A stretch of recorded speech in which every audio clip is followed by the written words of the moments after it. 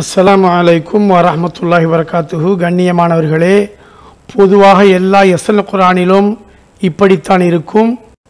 அந்த எழுத்துக்களை இவ்வாறு மாற்றினால் நன்கு மனதில் பதியும் இன்ஷா அல்லாஹ். அவது பில்லாஹி மின ஷேத்தான் ரஜீம். பிஸ்மில்லாஹி ரஹ்மான் ரஹீம் இங்கே பாருங்கள் இது அலிஃப். ஒரு புள்ளி கீழே இருந்தால் பா ரெண்டு புள்ளி மேலே இருந்தால் தா. மூன்று புள்ளிகள் மேலே இருந்தால் ச. அதே மாதிரி ஜீம் ஹ ஹ. அதாவது ஒரே மாதிரி வடிவத்தில் உள்ள எழுத்துக்களை நாம் தனியாக பிரித்திருக்கிறோம்.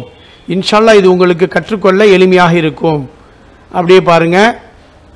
தால் தால். ரா ஜா.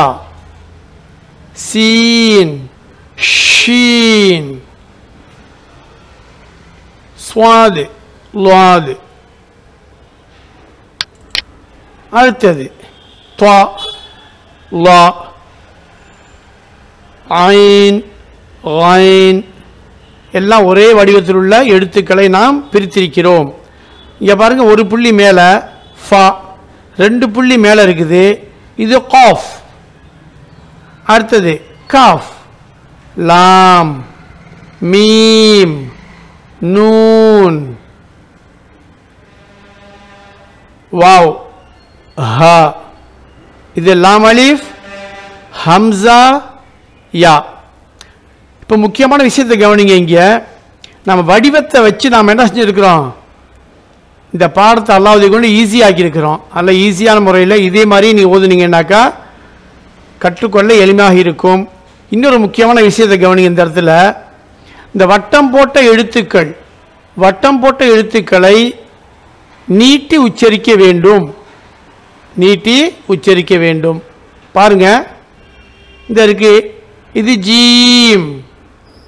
லாம். மீம். நூன். சீன். ஷீன். இதே மனசில் வச்சுங்க. இந்த எழுத்துக்களின் தனித்தனி உச்சரிப்புகளை தெளிவாக கற்றுக்கொள்ள விரும்பினால் வீடியோ நம்பர் ஒன்னை பார்க்கவும். அஸ்லாம் வலைக்கும் வரமத்துல வரகாத்துஹு